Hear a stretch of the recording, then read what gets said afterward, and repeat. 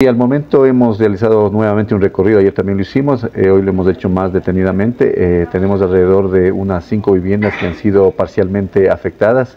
Eh, de igual manera, como le digo, en tema de cultivos no podemos cuantificar porque prácticamente toda la parte de, la parroquia Presidente Urbina tiene afectación a los cultivos de maíz, de col, de lechuga y pastos, ¿no?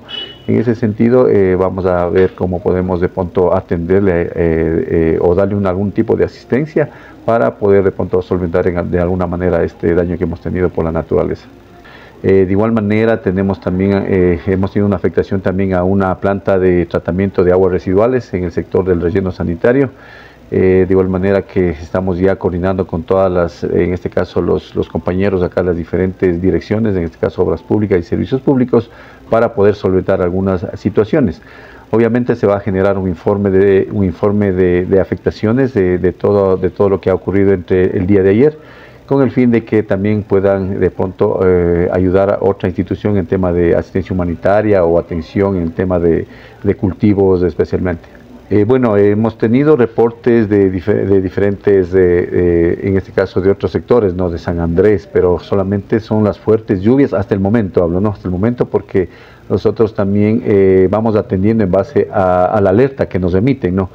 Vale dar a conocer también que nosotros tenemos un chat con todos los, presidentes de las juntas parroquiales y los vocales de las juntas parroquiales que están en territorio y ellos son los primeros alertantes que nos dan la alerta para poder nosotros también atender en forma oportuna. Eh, no hemos tenido reportes de, de, otros, de, eh, de otras parroquias, eh, solamente la de mayor afectación, como le digo, la de Presidente Urbina, hasta el momento. Sí, efectivamente, creo que el día de ayer eh, hicimos un recorrido también por la vía principal de, conexión Ambato-Píllaro, el sector de La Joaquina. No hemos tenido afectaciones, hemos hecho un recorrido permanente. Prácticamente allá las lluvias no han sido tan fuertes como lo fueron acá en la, en la parroquia Presidente Urbina. Eh, no tenemos inconvenientes en tema de vías principales de ingreso y salida al cantón Santiago de Pilla. Sin embargo, ¿cuál es el llamado a la ciudadanía para estar prevenidos frente a este tipo de fenómenos que se pueden seguir presentando. Claro, como, como tenemos conocimiento, no estamos en la época del fenómeno del niño, de igual manera eh, siempre eh, debemos trabajar en temas de, prevención y obviamente eh, la corresponsabilidad no solamente son las instituciones públicas, sino también de, de la ciudadanía, ¿no? en el tema, en este caso, de realizar las limpiezas permanentes, en este caso puede ser incluso de los mismos techos, la limpieza permanente de sus canales de, aguas de regadío, de, eh, las cunetas.